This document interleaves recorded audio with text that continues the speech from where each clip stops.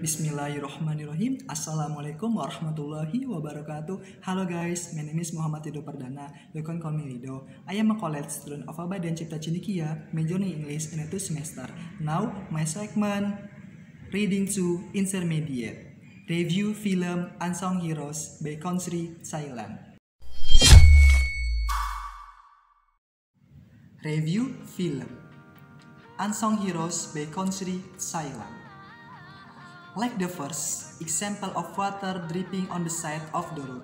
The second one helps an older mother who is having trouble pushing her cart.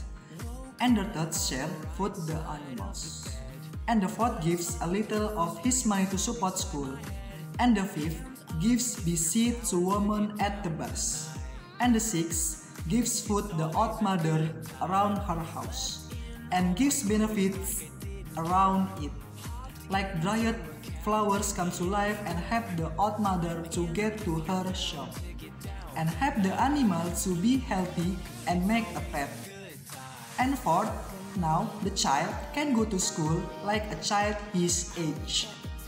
And the five, thanks to woman to giving this seed because to bus at the child.